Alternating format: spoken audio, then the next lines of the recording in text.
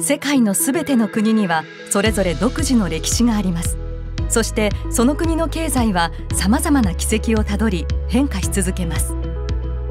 日本経済は過去70年の中で爆発的な成長を遂げそして後退し今その成長は鈍化し始めました。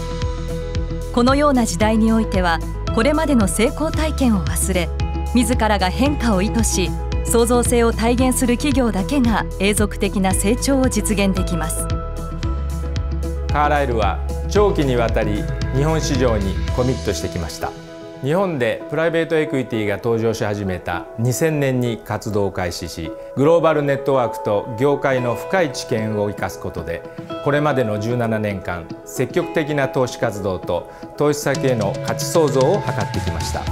カーライルは幅広い業界知見と有能なグローバル人材の活用を通じいかなる経済環境下においても成長する意思を持つ日本企業を継続的に支援し変革を起こしていきます。カーライルグループは投資家から託された資金を効果的に日本企業に投資し価値を創造してまいります。日本経済に対する深い知見を有しながらグローバルファームとしてのリソースを最大限活用することで日本企業の成長を強力に支援していきます。私たちはどのような企業が潜在的な成長力を有しどのように成長を支援できるかを熟知しております。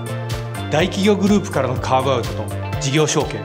この領域において意思のある会社の成長加速を支援し企業価値を創造することを使命としています。カーライルは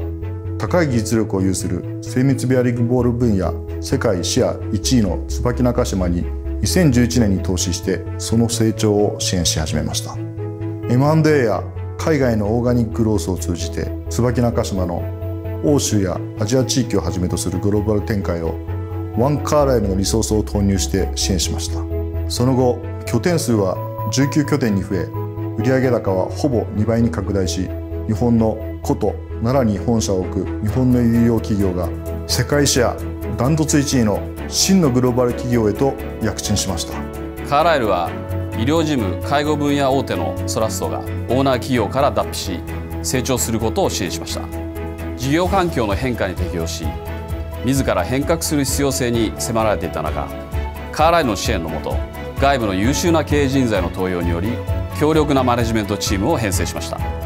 またカーライルのヘルスケア領域におけるグローバルでの経験知見を生かし介護事業に積極的な投資を行うことで新たな成長の柱を構築し投資支援機関に利益は約2倍に拡大。中期的な成長の基盤を確立しました。建築資材や産業チェーンを製造販売するセンクシアは世界有数の企業コングロマリットである日立グループからカーライルのもとに独立しました。センクシアの前身でありました日立機材は親会社が経営資源を他の重点分野に移す中で